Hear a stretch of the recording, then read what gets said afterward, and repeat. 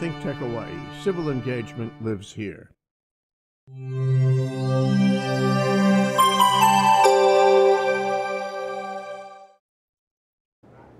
Welcome back to the Cyber Underground. I'm Dave, the Cyber Guy, Dave Stevens. I teach at the University of Hawaii, Kapi'olani Community College.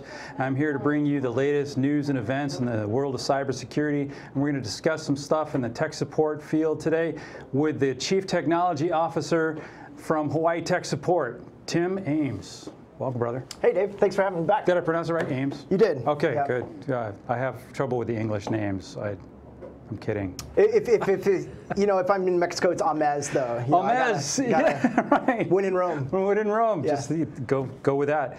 Wow. So first of all, uh, you haven't been on the show for a little while, so tell our listeners a little bit about yourself, how you came to Hawaii, Sure. and how you got to Hawaii Tech Support. Yeah, so um, I'm the Chief Technology Officer over at Hawaii Tech Support. We're a managed uh, service provider. So we help out with uh, mostly the small and medium sized businesses in Hawaii. Yeah. Uh, some of the uh, larger uh, organizations as well. We, we are their one stop IT shop. So if uh, they might be too small to have a full IT staff, what we do is we uh, come in there and we, we're their virtual CIO. And uh, we, we provide help desk support, tier two, tier three, you know, the escalation and uh, the architecture for their, their enterprises. But how'd you come to Hawaii? I came to Hawaii uh, after getting out of the military. So I was active duty Marine Corps for about 10 years. Semper Fi. Semper Fi. Right on. And uh, I, I got offered a job uh, with a civilian contractor for the DoD, and they, they asked if I wanted to go to San Diego, Hawaii, or Japan. I just spent the last five years in three good choices, though. Those are really good choices. I grew up in Southern California. Right. Lived for five years in Japan, and uh, I'd only stopped over in Hawaii, like on uh, deployments. So you took a shot. I took a shot, and it, it paid off. You know, I met my wife over here. We have uh, two lovely girls, and uh, this job. is this is where I'm gonna gonna stay. So you're local now. I am. All right, you wanted to come. Married in. All right. I'm, I'm, I'm counting on you. No, it's a best, best case scenario to take the talent and motivation from the military services, the, the motivated and uh, intelligent and, and educated people that come out of the military, to keep them here on the islands. I really like that. And I'd like to do that for our students too. They, you know, they're attracted to the mainland, but I'd like to bring them back and get that experience back here in the islands. They are. It's it's not a bad thing to go off and get the experience um, from other organizations, Yeah. whether it's here on the island or if it's uh, on the mainland, or even go to another country, find out how they do it, and bring it back. I like that. Yeah. Uh, most people forget uh, in especially in information technology, it's uh, amazingly critical that you do change jobs every once in a while, maybe every two to five years, to get the experience from multiple organizations and to come back and, and bring that experience and knowledge and know-how into a new company here in the islands. Well, we were talking about that before the show. We were talking about how uh, people can get really uh, pigeonholed into their, you know, their specialty. So Oh. a programmer might not know the networking, might not know the security, but yeah, that job rotation really helps you, Well, helps you you expand. know, we're going to discuss what we talked about before the show. I'll give my example. Uh, when I was real young and I was just getting into computers, I started just programming, you know, Perl scripting, and stuff like that. Uh, really old school, some VB, uh, VB4. I mean, it was way old school. And uh, I didn't know anything about networking until I bought a game that had to do, you know, multiple players, and I had a router, and uh, I had to read the instructions. And hey, I need some port forwarding. So wow, what is this networking stuff? So I had to learn networking, and I, oh, that's what this stuff is.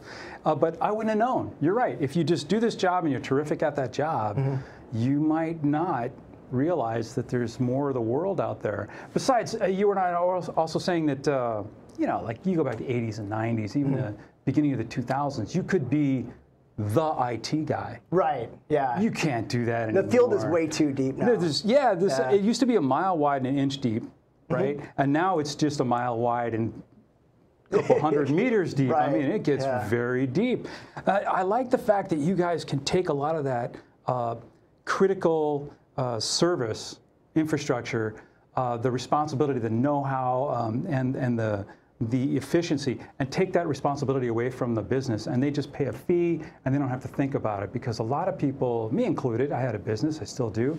Uh, sometimes I don't have the resources and the time to dedicate to that kind of stuff because I got a business to run. You're running a business. Your business is to make money, and uh, IT is a tool for that business. And a lot of people, um, a lot of people get carried away with the IT, right? They they might want to go for too much, or they might not go for enough. And uh, I think I think finding a, a professional like yourself, or or Hawaii Tech Support to kind of give that advice. You know, where where do I need to be as an organization? It's wonderful to have you guys Yeah. out there. So if I if I need legal advice, I'm not going to do it. Right. I'm not going to go out and get Yeah. a degree. I'm going to go out and hire outsource some legal. If I need uh, HR, Mm-hmm. I do not even pretend to know everything about human resources. Right. So I'm going to go out and hire, you know, Pro Service Hawaii or something, you know, an HR company. And when I need tech support, I'm going to go to the pros. Right. And you guys are probably going to say, let's see, you're in elementary school. Do you really need 24/7 support? Mm-hmm. Probably not. You know, work hours, couple of weekend days, not even 365 days a year. Yeah. You know, you can model your support infrastructure or your support service to them, to Yes. that business, right? Yeah. And if I went out and hired as an elementary school, I go out and hire an IT guy. First of all, he's overworked he's got to handle everything. right. And he's on salary, so he's 24 7. Yeah. And I don't need that. And you're paying for the health and benefits and all Uh, that. Yeah, of the 401k the- and all that stuff. yeah, Yeah, so undefinables. it's a it's a great match to to dig you guys up. Yeah, I and you that. guys that, and then you guys can come and say, well, based on other people we've served in the same industry. Mm-hmm. We think that you could use this service Mm-hmm. to reduce the time and effectiveness that you know you're using over here, or you could use this service, and this might save you a little money. Yeah. That kind of advice is invaluable to somebody who's, like you said, just running a business. I Yeah. own a 7-Eleven. I run a gas station. I, I own a, I don't know, I run a public swimming pool, whatever it is, and you guys can say, we'll channel this and meet your needs. Do you have any stories like that? Yeah, so um, well, lately we've been uh, so it's it's about defining resources that you Hmm. need, right? So we have the resources to just sit there and uh, do proofs of concept on new technology. We have we have the resources to sit there and read all of the the bulletins that come out, you know, concerning cybersecurity or just you know better ways of architecting uh, new and improvement new new improvements to uh, the IT community.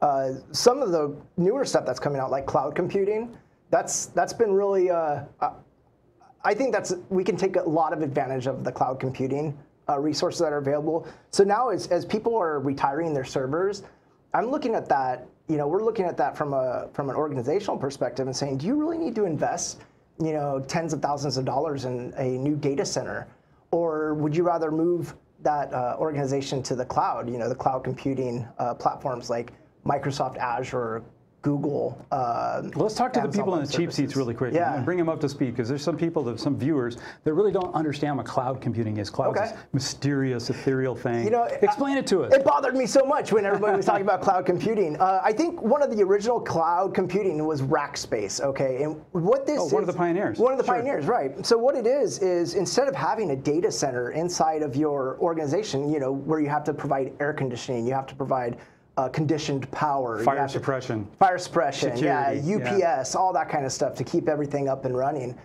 Instead of doing that, you know, Microsoft or Amazon, they have these huge data centers and they carve you out a little piece of it. You know, it's it's it's a logical piece of their data center, and they assign it to you. And from a management perspective, it looks and runs just about the same. And it can be redundant invisibly. Absolutely. So you're looking at a piece of it, but that's actually backed up in real time to another place. Mm-hmm. So if one of them goes down, you still got the other one. Right. Really, all the requirement is for you is to have a good internet connection. Yes, and that is key. That, that's a critical component that we look at now. And Hawaii can be hit or miss, you know, depending on where you go on the island. You may get the fiber, Yeah. you may get, you know, you may have to. The old copper cabling or the you might have to go to some of the guys that provide like the line of sight, you know, the the antennas, the microwave dish, the yeah. microwave antennas. Um, so that happens, but we we try and get our uh, our customers to. It- this is another thing. So you were talking about cost savings. I. Uh, I encourage all of your viewers right now to uh, to take a look. You know, get in contact with their ISP, their vendor for their you know internet connectivity, and just check if you haven't spoken to them in the last couple years. Oh. You might be able to to Get a better deal. double or triple your internet speed right, Right. now. Hawaii Telecom's going to hate me in Spectrum. They're, no, for the- for the same speed, they want, uh, they want, same price, right? Yeah, I, I think they want us to move over to that new architecture. You know, they're building out all this new infrastructure. Move to it. So yeah, double your speed up. If you don't have to pay anything more, I mean, it's it's a, just an easy win, right? Low hanging fruit. Once you have that speed, though, the cloud becomes it just you can do remote desktop to the cloud. So we've been giving people thin clients uh, that don't have any operating system on it to Describe a thin client. Right. Back to the cheap seats. What's a thin client? A thin client is a computer that connects directly to a remote uh, session. Okay, so usually you log into your computer and all your data is stored on that computer. Okay, a lot of people are familiar with file shares. Uh, file shares usually reside on a server, right? So you access the file shares from your computer, but when you download that, it, it gets stored on your computer. And you have an operating system like Windows 10 or you know, uh, Mac OS. You have an operating system on that computer. That's what we consider a thick client, or just a normal workstation, a normal PC.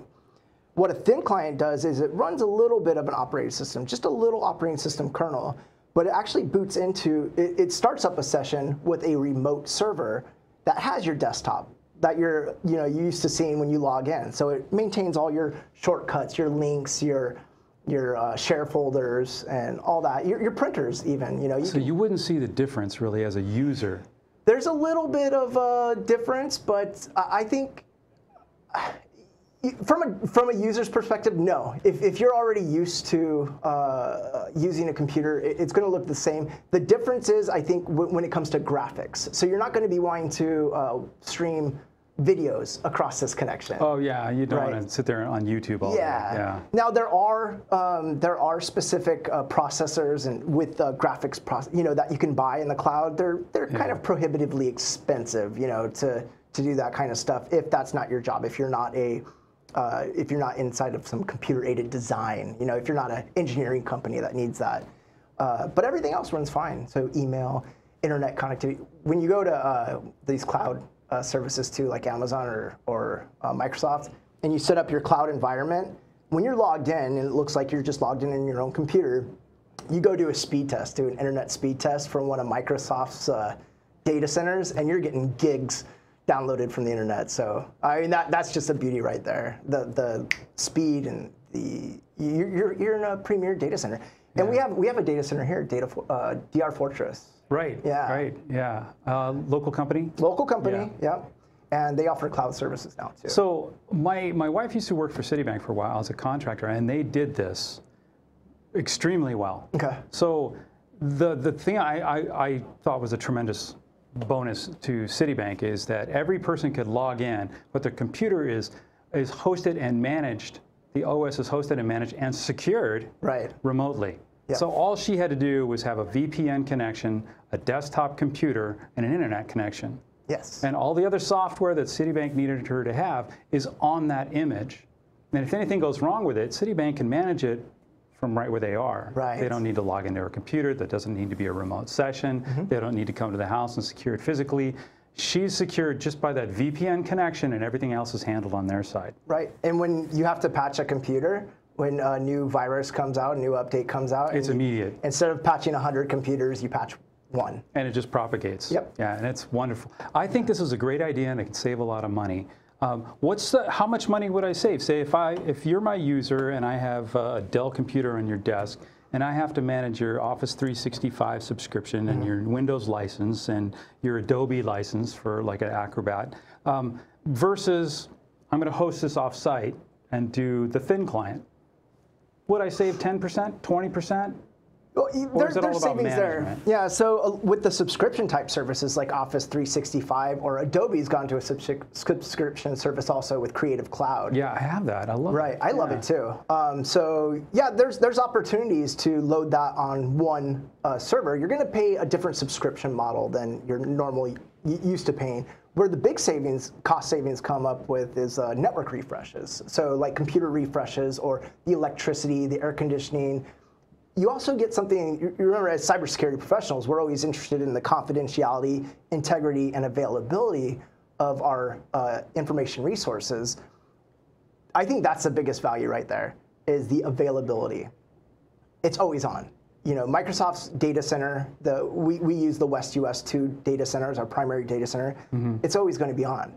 But even if it's, it, the worst case scenario, Microsoft's data center goes down, it pops up in the West data center or so you're East always on, always no matter on. what's going on at Microsoft. Right. They have a redundancy. They have redundancy to keep you in. up. And we're going to talk about that. We're going to take a little bit yeah. of a break, and when we come back, let's talk about worst case scenarios mm -hmm. and what's going to help your business. So the disaster resistant technologies that we can employ as business people to keep us secure and keep us going. So business continuity, the availability you're talking about. Okay. So okay, we'll come right back. All right. Until then, everybody, stay safe.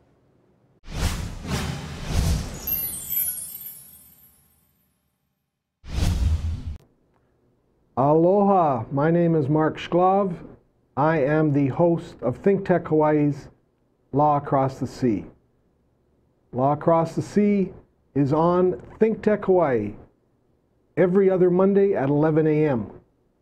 Please join me where my guests talk about law topics and ideas and music and Hawaiiana all across the sea from Hawaii and back again. Aloha. Hey, aloha. Stan Energy Man here on Think Tech Hawaii, where community matters. This is the place to come to think about all things energy. We talk about energy for the grid, energy for vehicles, energy in transportation, energy in maritime, energy in aviation. We have all kinds of things on our show, but we always focus on hydrogen here in Hawaii because it's my favorite thing. That's what I like to do. But we talk about things that make a difference here in Hawaii, things that should be a big changer for Hawaii.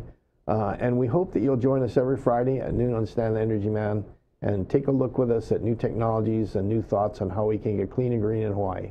Aloha.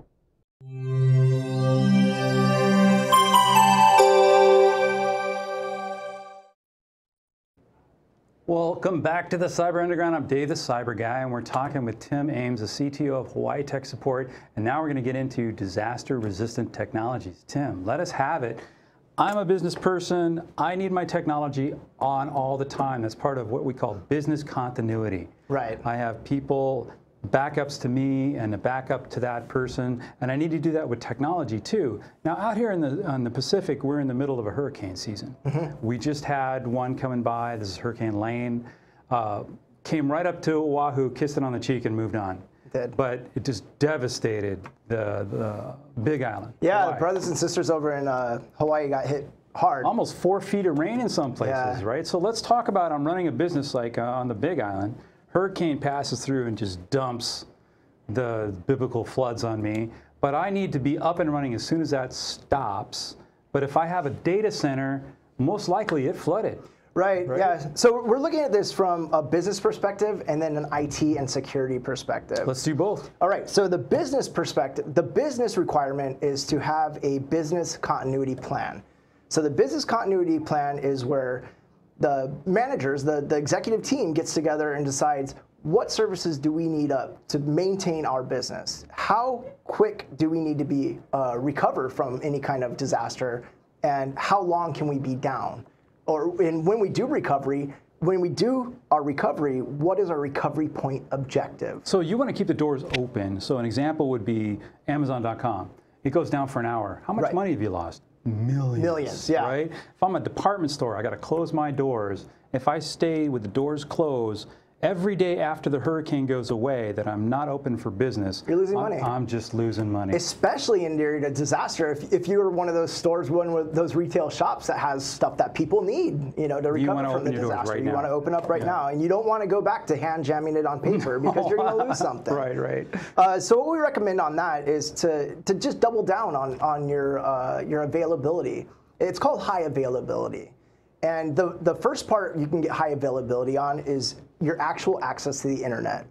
Now, if, if your organization has the ability to go to two different service providers, like for example, use Spectrum and Hawaii Telecom, if Hawaii Telecom goes down, and this could happen just during a normal business day, right? You can lose your ISP. Well, then your other your other uh, connection stays up. Technology is advanced to the point though where you don't have to pay for two circuits uh, to run constantly, and, and maybe you're not using both circuits at the same time. You're not load balancing. You just have one just in case.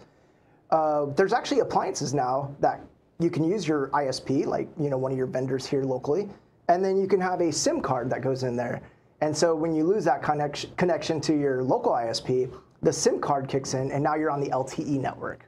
Okay, it's you set up the security, it's still a firewall, and it's still doing all of its work, doing the inspection, uh, but you're up. So you know that's one big way to tackle that challenge uh, from the get-go. Having redundant power is important too. And so having everything on a UPS, making sure that you uh, you know if the storm's incoming and and you're not rated, your, your UPS isn't rated to, to handle any kind of like lightning. Got to define this uninterruptible power supply. Uninterruptible power supply. UPS. I'm sorry, I, No, I, I okay. tend to use acronyms. We got people in the cheap seats. We got to play to the whole audience. So the uninterruptible power supply, uh, people should be aware of this, is it's just a big battery. So you plug all of your devices into that. If the battery loses power from the wall, your devices are still going to be up and running. For a certain amount of time, For a certain amount of time, at least enough time to uh, hopefully get the power back or switch to a generator safely shut or down. safely shut down. Right. Right. Uh, but if you want we got to pause here. Yeah. UPSs, the batteries don't last forever. they don't last forever. Every five years or so, go in there, test your batteries, switch them out. Um, Yeah. Especially in Hawaii, high humidity, bad bad stuff for batteries. They can explode. Yep. They can burst. Uh, they're going to get all that fuzz on the outside. Yeah, these are the lead acid batteries. So you want you want to dispose of them uh, with the with like Battery Bill's. I'll give them a free plug. yeah, we get, we take a lot of our batteries to there, and, and they're great at uh, disposing of them properly. They don't go in the landfill. Okay, Battery Bill, everybody. That's a local vendor. Just so you know, Battery Bill. Look up his commercials. But it's on YouTube. Yeah. Yeah, yeah. So you have a UPS, um, a redundant internet connection, Right. hopefully. Um, what else? Well, n- then you want to look at okay, what do I do for backups? And backups is a question that you have to ask all the time now, because we're not just thinking about disasters. We're thinking about ransomware. Ransomware. So we're into cybersecurity finally on the cyber underground. So yeah, ransomware can terminate your your data by Yes. just locking it up, and if you don't pay the ransom, you don't get the key to decrypt Yeah. it. And even if you do pay, sometimes you don't get the key. In fact, I think it's only 30% of the time you get the key to unlock your data.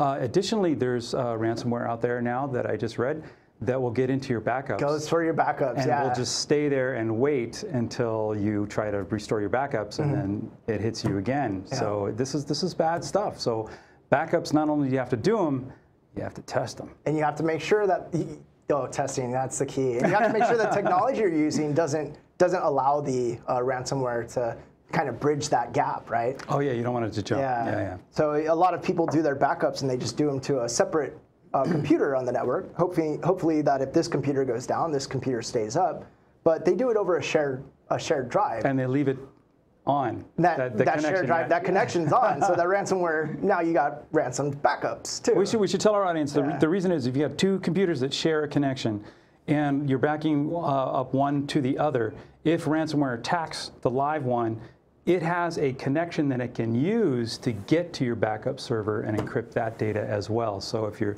making that backup, disconnect that share Yes. After you're done making the backup and make sure your backups are safe from the ransomware. Right.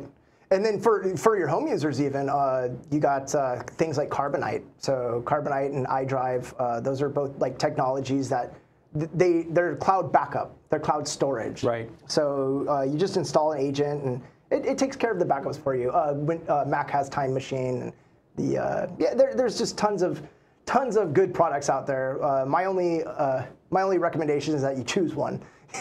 Yeah, stick yeah, with it, just yeah. just just stick with you know get a backup solution. Um, but now for the businesses though, they can start backing up to the cloud. So cloud storage is ridiculously cheap. That you, you asked the question, you know, what what uh, what are the cost savings when you go to the cloud? Compute, memory, uh, those resources are pretty much on par with buying a uh, a server uh, of your own. But when it comes to cloud storage, you can't buy any cheaper. There, there's no way I can beat uh, Microsoft or Amazon when it comes to just getting.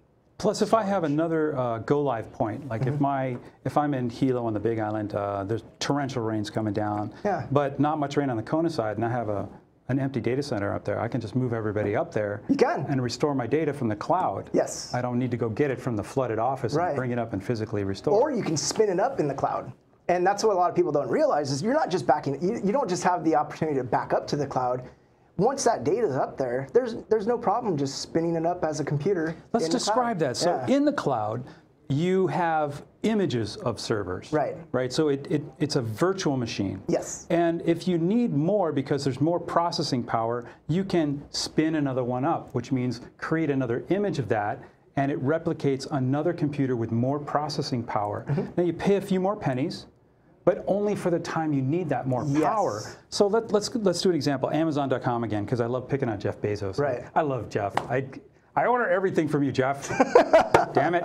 Um, so convenient. So Amazon.com is running, and they have, uh, you know, what do they call it, Black Monday or whatever?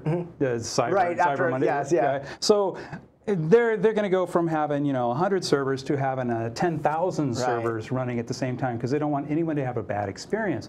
But when that is over, they scale back down, and I think that's the key word we're looking for here. The scalability of the cloud is amazing. Right. So um, it, it used to be that if my business ramped up, I have to increase my data center footprint by you know an enormous Yeah. amount and just put all these computers up there. But then if my business ever scales down, I'm stuck. You're right. I got all that stuff there. With the cloud, business scales back. Okay, I scale back. Oh, it's back up. I scale right back up to meet my need. And my costs are um, they're commiserate, uh, commensurate with the actual need. Right, the traffic that you're getting, the traffic Right. that you're expecting. Eh, you, you mentioned spinning up other servers, and, and what's cool about uh, a lot of these options is that you can actually resize the server while it's running. So just I need like a big server. I need a small server. I need a, I just, yeah, I just need uh, another 32 gigs of RAM on this server, and you just with the flip of a button, you can you can do it while it's And it's in production. literally Yeah, pennies I wouldn't do it do while it's this. in production, but yeah, you can. Yeah, you probably shouldn't do that. yeah. But but we do have load balancing, and there, Yeah. therefore you have multiple servers, so you can take some down and not interrupt. And you can turn them off at night too. So uh, with the with the remote desktop host, for example, the, Yeah. with the thin clients, uh, you might have 100 people working during the day, but you only have a skeleton crew working at night. You don't need three remote desktop servers up during the nighttime. You only need the one, and it might be the smallest one. You can set it up to every night, shut down the other two. So you're saving over the long term. You're saving two thirds of your cost. Yes, yeah. By only having you know all three of them up for maybe 20, 10 or 12 hours a day. Right. You're cutting 30 or 40 percent off your cost over the Yeah. the year, and plus your P and Ls are going to look great at the end Right. of the year. yeah, you just can't do that with a regular, you know, regular physical infrastructure. With our last minute of the show, uh, give us a little sales pitch about Hawaii Tech Support, exactly what you guys offer, Sure. and how to get in touch with you guys, because I want to know. If anybody's interested in uh, some of these new cloud technologies and how to how to make your uh, make your organization highly available, highly available And during the secure. storm and secure Yeah. during the storm season, uh, contact us. Hawaii Tech Support. Uh, our number is 808 535 9700, or you can email us at uh, learn at Hawaii Tech Support, hitechsupport.net. So learn at H-I-techsupport.net. Tech Support. That's H I. HI, like Tech Hawaii. Support. Yeah, Hawaii TechSupport.net. Yeah, yeah. Okay. Yeah. Thank you so much for being here. Thank you, Dave. And again, Semper Fi, brother. Yeah, Fi. right on. Thank you, everybody, for joining us on Cyber Underground. We'll be back next week. Until then, stay safe.